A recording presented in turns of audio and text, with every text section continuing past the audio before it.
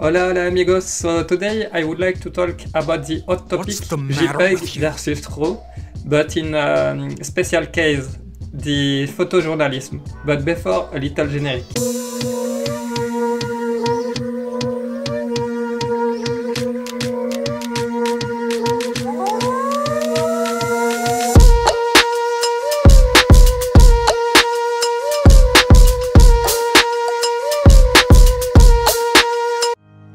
It's a very long debate, the RAW versus JPEG. We talk about that uh, a lot, a multiple of time. You have the camp of people. Some said the professional or serious photographer use only RAW, and you have people. Some said no, JPEG can be useful. And for example, you have a special case when you do photojournalism.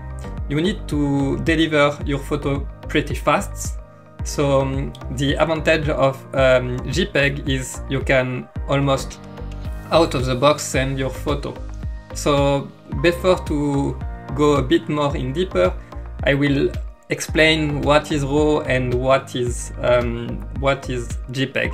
I will not really give you a lot of details about what is RAW or what is JPEG because you can um, find a ton of video about that on YouTube and um, they do uh, better than me, but I will just give a, a bit of info. So first, what is RAW? RAW it's um, um, like format with all the data, no compression. So it's a very big depends of your camera and depends of your brand and depends of how megapixel you have in your camera, but it's a pretty huge file. Uh, and the and you you have all the information. You can see the raw as a as a negative, uh, numeric negative. Like when when we was shooting with um, with uh, analog, it's the same stuff. So the disadvantage maybe of the raw is you need to uh, do a bit of work after your you have your photo in your data in your computer.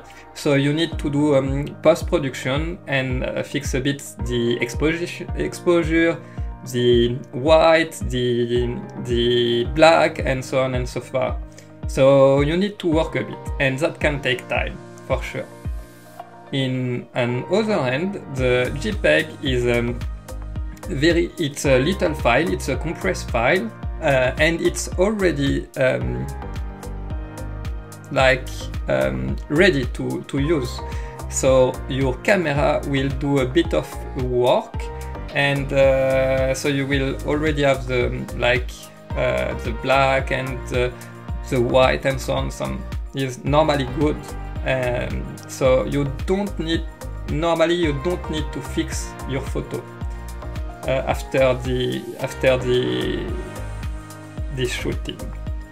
Uh, but actually, and it's a bit funny because, uh, like I think three days ago or something like that, I have asked in the photography chat. Uh, it's a Facebook group. I highly recommend it uh, to to join. It's a very nice um, photo group, uh, photography group chat. Uh, we talk mostly about sport photography because it's a lot of sport photographer, but we talk also a bit of photography in general actually. So I, I highly recommend to join it if you want to join a community about photography. Uh, but so in that uh, Facebook group, I have asked about the question when you do sport photography for a newspaper and so on, do you use JPEG or RAW? And um, all answer was JPEG. So yeah, uh, and yesterday uh, I was to shooting the final of uh, challenger tennis challenger in, in Dondory, and I was okay. It's the final. We have only one match, uh, so I will try to use RAW to see the difference between the JPEG and RAW, and if I can use the RAW in my workflow to be fast and send the photo fast, even if it's raw and need a bit of post, -produ uh, post. Yes. Uh, so I have made it, And the answer is uh, first the result was better, better quality, uh, better quality uh, in my eyes I, I, actually, uh, sharpness photo, and I was able to fix the black and the white and so on and so forth. And uh, actually also the white balance. Uh, sometimes when it's you are in a tricky light situation and so on, the disadvantage of JPEG it can be a bit hard to fix uh, the white balance and then it will be very hard on a JPEG to fix your uh, your photo in post-production because the problem with the JPEG it's you have not all the data and every time you will do a modification in your JPEG uh, you will decrease the quality of your photo and that not happen when you do raw shoot. So um, the raw is better to do a bit of post-production and it can help in tricky light situation. Uh, but the other answer was yes, I'm able to include it in my workflow and shoot uh, and send pretty fast my, my, my photo. So it's not an issue. So from now, in my case, I will I will choose to do I will only do uh, raw uh, raw shooting, even if it's for photojournalism and newspapers. Um, so you will say, yes, but how about the post-production? That take time. Yes and no, I will say. You have uh, a pretty good solution in Lightroom.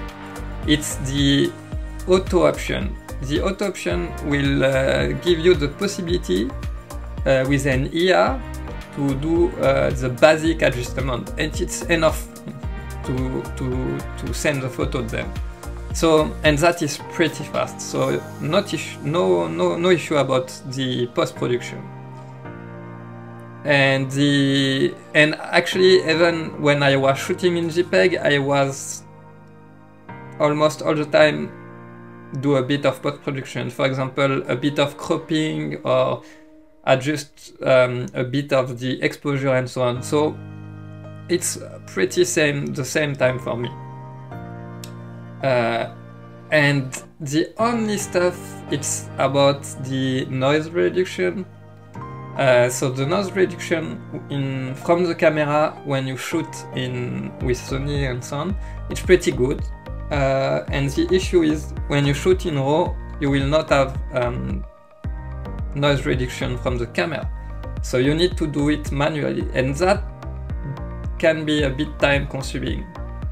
Um, the other solution is to uh, use the new option from Lightroom, or not so new now, but the noise reduction for the raw file. It's good, do a pretty good job and I really like it.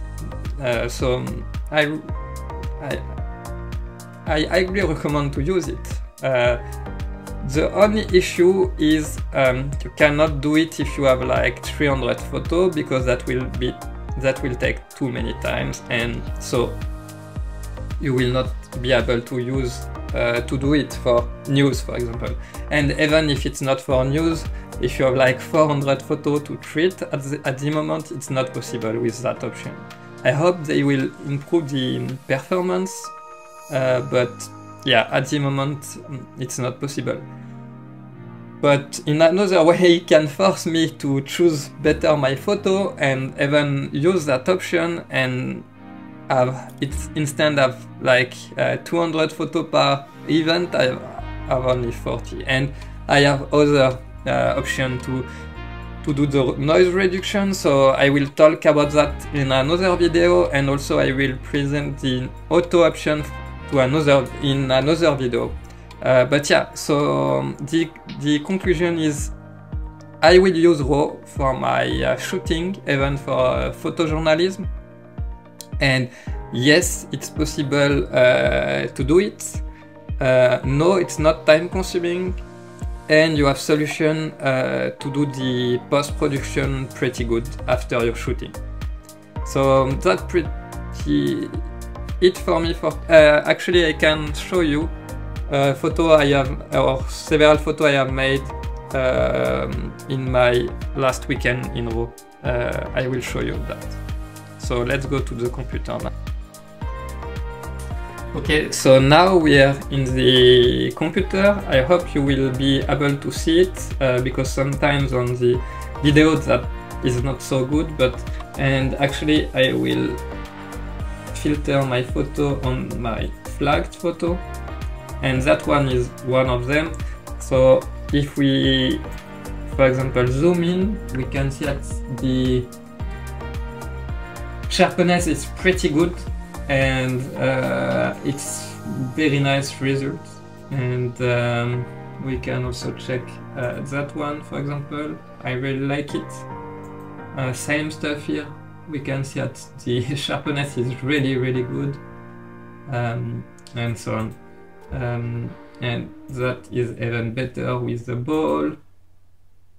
And we can see that we have no uh, noise. Even if I have shoot with um, 4000 ISO uh, and it's pretty nice. And even if we are a bit uh, for example that one same stuff 4000 ISO and uh, I'm pretty good. Uh, we can see the details and so on. The other uh, good stuff when we shoot in RAW in standard JPEG, it's even if we uh, underexpose, it will be easily easy to uh, then fix the exposure. It's also why now I prefer to shoot in RAW actually. Uh, for that situation. Uh, same here with the trophy. No. No. Nothing about like noise and so on. And the quality is really good. Yeah. So that's all for me for today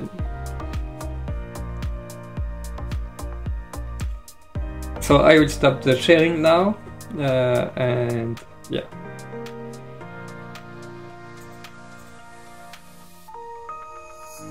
That's all for me for today. Uh, I hope you enjoyed the video. Uh, let me know if you will shoot in RAW or JPEG or if you shoot in RAW or JPEG for when you need to do um, pretty fast, um, send pretty fast your photo to the customers. And please follow the channel uh, to help me and comment and uh, put a like on the video that will help me uh, with the algorithm. And um, I will do one video per week now, so subscribe to not um, um